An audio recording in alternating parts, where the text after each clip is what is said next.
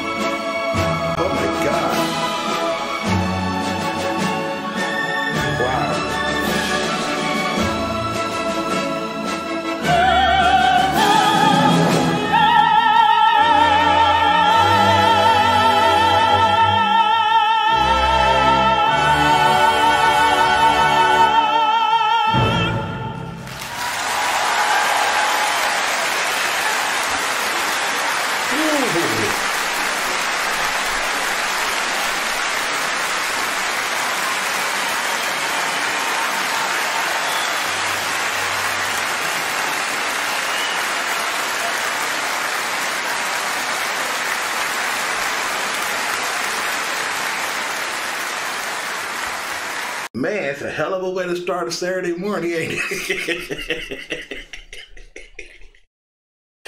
Holy crap. Wow. I, I'm just I, I'm I'm I'm I'm filled with emotion. Like I got chills on my arms right now. Like I literally got goosebumps like right now on my arms. I still feel it.